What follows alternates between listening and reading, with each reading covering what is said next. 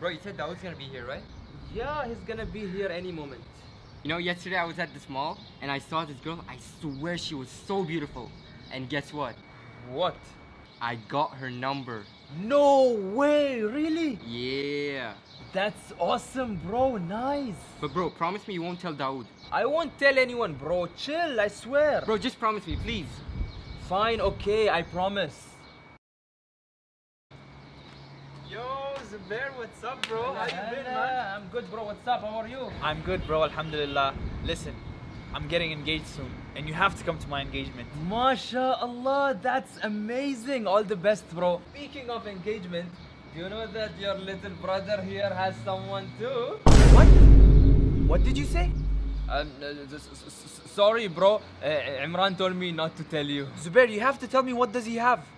Imran, what do you have? I don't have anything, I swear. Tell me, what do you have? I have a girlfriend. Haywan, you have girlfriend?